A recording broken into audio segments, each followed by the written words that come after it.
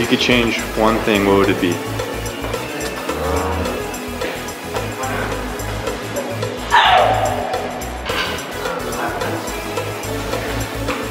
Like in the world? Uh, people. One thing anywhere? Anything. Would make it so people can't call dinner supper. People have to get in their minds how to act right. Okay? They need to act right. If you don't act right in society, you don't do any good, okay?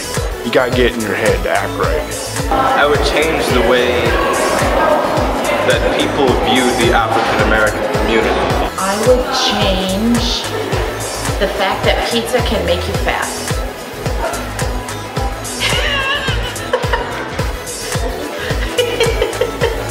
So you don't act right, you don't do any good, okay? Everybody does sports, everybody raps and dances. If you could change one thing, what would it be?